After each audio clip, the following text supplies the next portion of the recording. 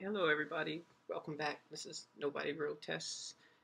This is Nobody's Grotesque horror review. Now, today I literally just finished watching this movie called The Curse of Sleeping Beauty. And okay, let's start off. First, it stars Ethan Peck, India India Eisley, Natalie Hall, Bruce Davis, Davison, Scott Alan Smith, and James Adam Lynn. Yes, I'm reading off the Wikipedia page. Now, once again, okay, this this movie is currently on Netflix. I think it just appeared to, uh, some, in September this month. now, uh, okay, so this movie.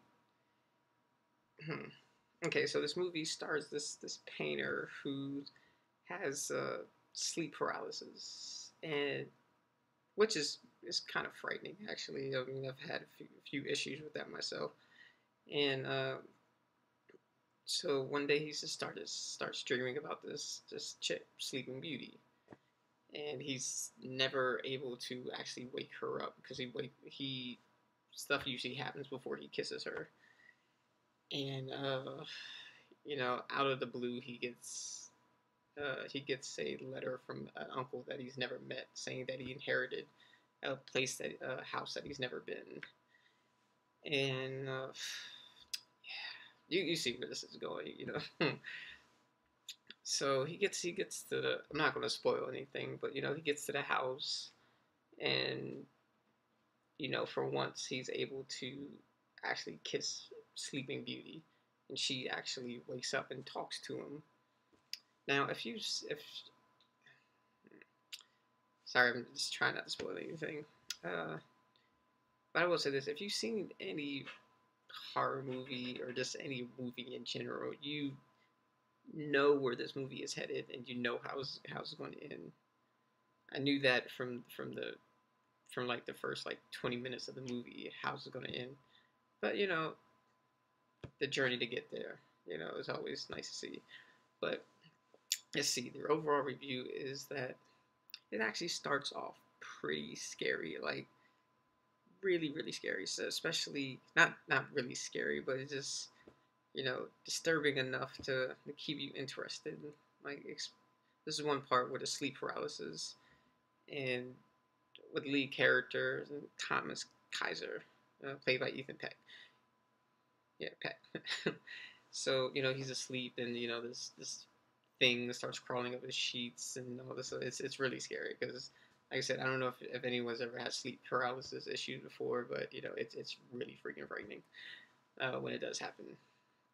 So, like I say, so uh, it starts off really really good actually. Like I was I was really watching it, and there's these you know any horror movie with mannequins involved is just good enough for me as a Silent Hill fan, and you know I like the mannequins, but you know there was a specific moment in the movie where the movie just kind of started going up like this, and then there was a specific moment where just then it just goes down here.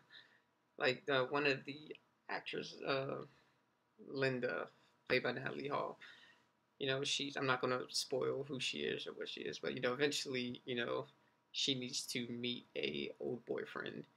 And immediately when you know, they introduced a new boyfriend. He just music, goofy music playing, and you know, this government guy who can magically uh, translate, you know, old texts, and it just starts getting it.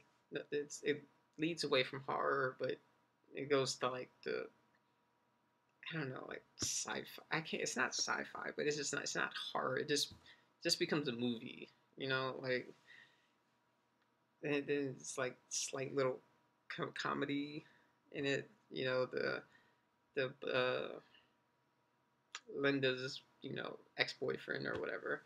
He becomes like for the few parts that he's in, he becomes a comic relief, and it's it just really took me out of the movie.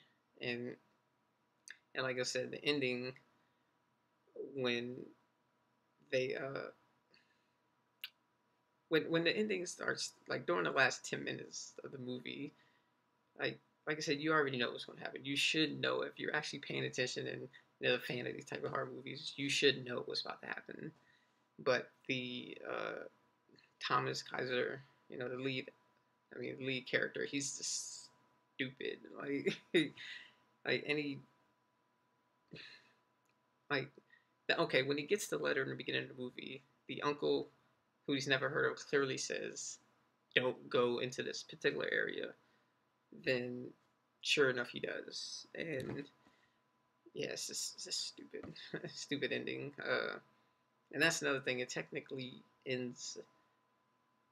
I, I guess it's technically a cliffhanger, uh, or it doesn't. I don't know. It's I don't know what they expect from the ending. It's it's, it's not necessarily it's a cliffhanger for the most part, but not nothing too big because I, I think they were just going for a shock value ending, which to me it was, it was like an eye roll, like like whatever. I don't care at this point. But uh, you know what? I will definitely say that overall, though, it's it's a movie to watch at least once. It has a good premise into it, very good premise actually. It just fell apart halfway through.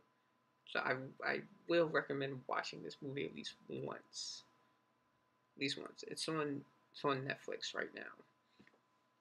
So uh, yeah, it's good enough for just one uh, one watch. Like I said, first half of it is really really good. So I do recommend it to a certain extent. All right, see you guys later. Bye. I hope you enjoy. Like and subscribe. Bye.